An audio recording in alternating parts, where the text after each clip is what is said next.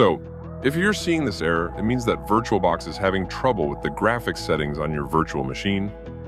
You'll likely see a message saying, please switch to a supported graphic device to avoid problems. But we can fix that by adjusting a few settings in VirtualBox.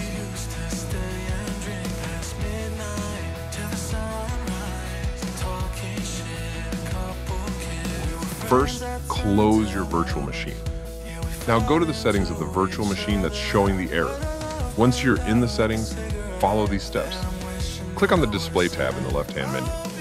Next, look for Graphics Controller. Change the setting from whatever it is currently to VBox SVGA. After that, increase the scale factor just a little bit to ensure better display performance.